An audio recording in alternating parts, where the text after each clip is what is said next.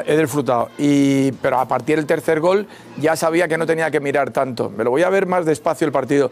Pero sí quiero recalcar dos cosas. La primera, en relación a lo que dice Marcos, y es verdad, es que eh, el Rayo no daba sensación ni incluso al final de perder 7-0. Ha tirado tres veces más córneres que el Atleti, ha tenido más posesión, ha mantenido el, el buen gusto que tiene siempre. Pero es que el Atleti es el equipo que mejor juega de España. Partido.